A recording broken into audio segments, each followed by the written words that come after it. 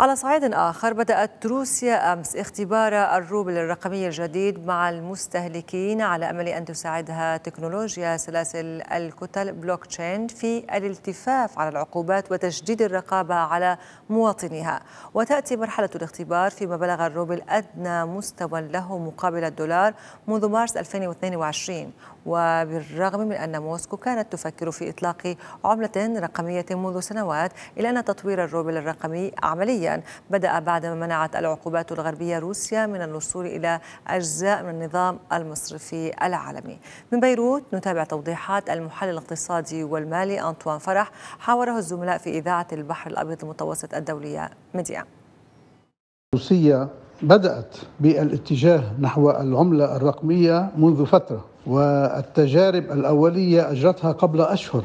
أجرتها مع مجموعة من المصارف الروسية كما أنها أجرت اختبارات للمنصة التي سوف تدير العملة الرقمية الجديدة وهي بالنتيجة عملة الروبل وهي تختلف عن العملات الرقمية الأخرى لأن لها مرجعية مرجعيتها الوحيدة هي المصرف المركزي الروسي. يعني هذا هو الفرق بينها وبين العملات الرقمية الأخرى. كما أن قيمة الروبل الرقمي هي نفسها قيمة الروبل الورقي. طبعا هذه الإجراءات الهدف الأساسي منها هي التفلت من الحصار والعقوبات التي تفرضها الولايات المتحدة والغرب على روسيا، ويبدو أن روسيا استوحت هذا الأمر من خلال ما فعله بعض الأفراد الروس عندما ذهبوا إلى العملات الرقمية كملاذ آمن، كما أن المنصات التي تعمل بالعملات الرقمية المشفرة كانت في معظمها تعود إلى الولايات المتحدة والغرب، وبالتالي هذه المنصات عمدت إلى تجميد الحسابات الرقمية لأفراد روس فرضت عليهم عقوبات بتقديري أن هذا الاتجاه سوف يساعد